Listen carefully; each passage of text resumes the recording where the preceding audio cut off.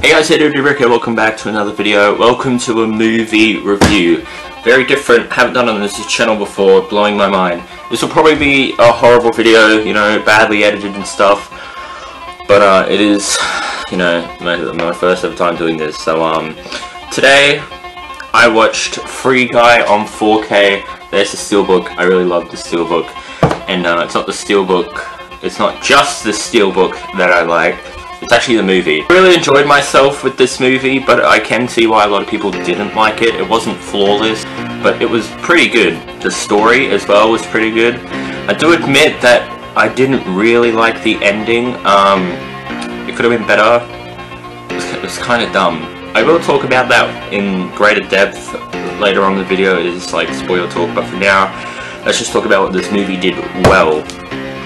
So, um, this is pretty much like pros and cons spoiler free. So um, this movie looked amazing. Like the cinematography and just the style of it, I guess. It wasn't like an art style, but um, the car chase scene, for example, that was just beautiful. There was a specific look to it. I don't know what it was. It just looked really cool. A lot of the CGI as well was uh, pretty good, but I kind of didn't like the game CGI. It weird. It was really poorly animated and I know that they animated it like that that specific way for a reason. It just didn't look good for a groundbreaking game, for a AAA game, which is Free City. In case you haven't watched the movie, pretty much there's this game called Free City, which is where this NPC lives, who is actually an artificial intelligence and can come and comes to life and he does all this stuff that the players can do, not what the NPCs should do. So the company that made the game are trying to bring him down. And there's this one scene early on in the movie where um, two of the game debug, I don't know, they uh, work for Soonami, which is the company that made the game. They made characters and went into the game. One was a cop and one was in a big pink bunny suit. Just really hated them. They were so annoying and very cringy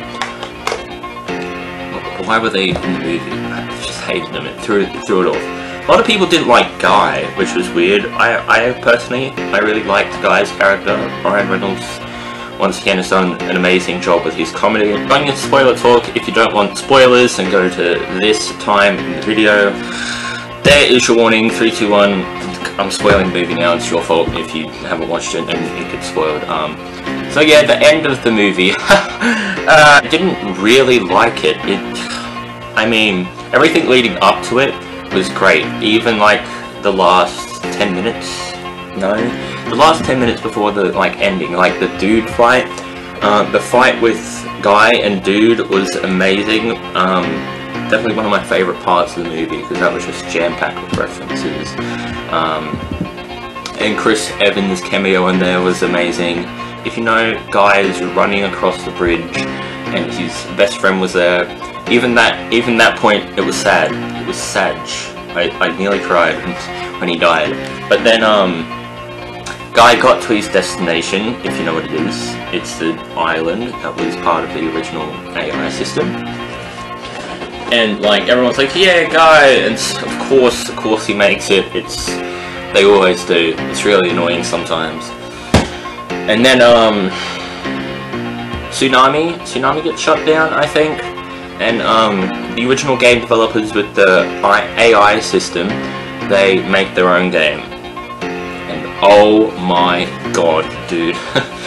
the game is like exactly like Free City, but it's got all the supernatural elements and it's got greenery everywhere. And like, oh, okay, great, everything works out.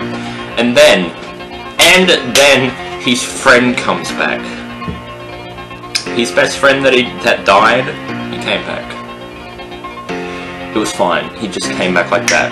There was one scene in the movie which felt so stupid and very unrealistic. All the NPCs were rebooted, so Guy went back to his normal life. But, here's the stupid thing. Like, the main character, Millie, it's her name in the movie, goes up to Guy and she, she kisses him, and then he remembers everything that he's done. He remembers all his leveling up, which, in a technical term is pretty much impossible with AI coding in an NPC. Um, like, yes, it is um, an artificial intelligence, but its memory was wiped and it, and it cannot be... It, it can't all come back to him by a kiss of a player. That was so stupid. Like, she kissed him and and Guy got all his memory back. No, that's not that's not how coding works. It was a good movie. It was a good movie. I can see why there was a lot of hate on it. Especially if you didn't have fun with it, then that would make it even more, like, it'd make it worse for your experience. With a two hour runtime, you didn't enjoy it and you found all the spicks and specks that just annoyed you. I found the spicks and specks that annoyed me as well, but I had a good time with it. I did have fun just to let my, turn my brain off, um, because there's a lot of inaccurate moments in the movie, like all the coding. But, um, yes, as, as I already mentioned, I, I love the steelbook. I have the slipcase on it because I don't want to get my fingerprints on it. But, um, I'll just, there we go. There's the medic bag, which I love. I love that part of the movie. And probably the best part of the whole movie is Goldie.